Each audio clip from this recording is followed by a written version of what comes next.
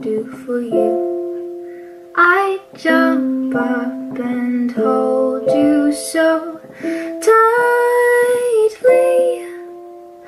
but I will never be able to do these things.